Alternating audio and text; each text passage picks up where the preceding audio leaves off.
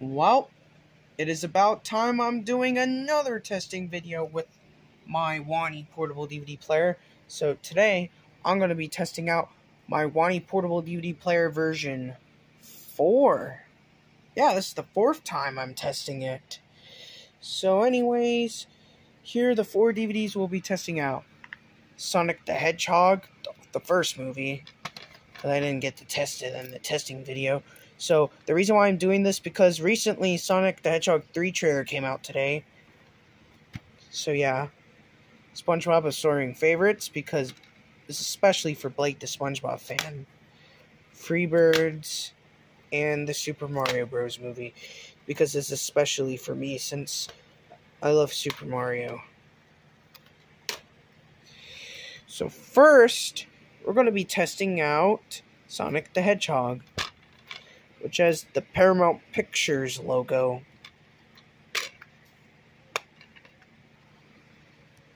Oh no way, the disc is boring gray, but who cares. So anyways, here's the Paramount Pictures logo, but on the Wonnie portable DVD player.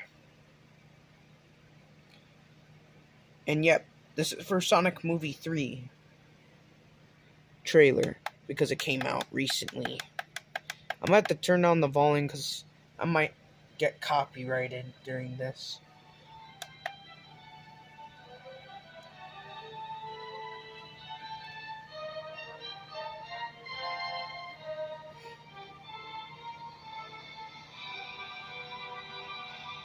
and as the Viacom CBS byline, by the way. Sonic 2 didn't had that.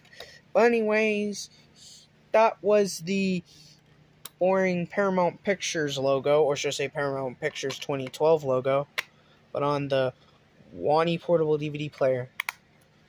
So yeah. So now, next DVD is SpongeBob Absorbing Favorites, which has the Nickelodeon fish logo, and it doesn't have the Paramount DVD logo, even though it's mentioned on the spine. Here's the disc with SpongeBob with the net. So anyways, here's the Nickelodeon fish logo, but on my Wonnie portable DVD player.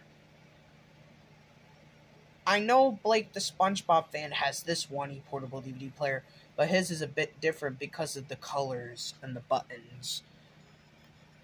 Okay, that was the Nickelodeon fish logo, and I, and yeah, uh, his his is black, mine's is silver. And when his turns on, his has a blue uh, blue light, mine's has a green. So, anyways, next up is Freebirds, which has the 20th Century Fox Home Entertainment logo, and my copy shows it, unlike Blake's copy.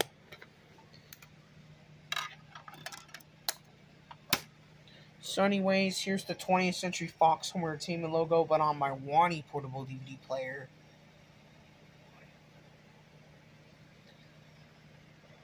And this testing video is actually going pretty quick.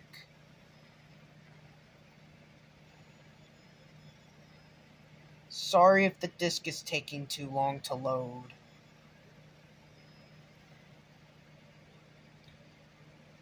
Okay, there we go.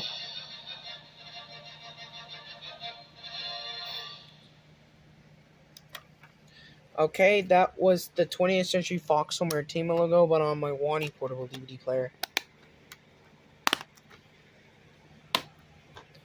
Last but not least is the Super Mario Bros. movie. Since I love the Super Mario franchise, and it does have the Universal 2012 logo. So yeah. I don't know why the disc is red, but who cares? So anyways, here's the Universal 2012 logo, but on my Wonnie portable DVD player.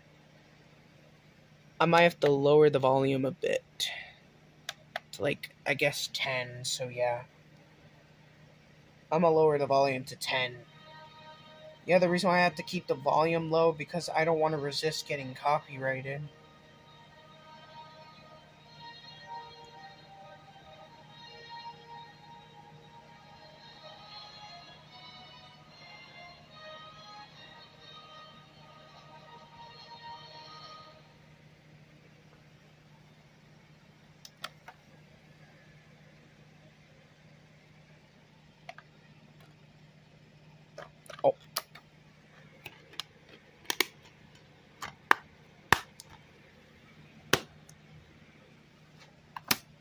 So anyways, guys, I hope you have enjoyed this video of testing out my DVDs on the Wonnie Portable DVD Player version 4. So anyways, if you have enjoyed this testing video, make sure to like, comment, share my videos, subscribe if you're new, and click the notification bell icon so you'll get notified when I post more testing videos in the near future.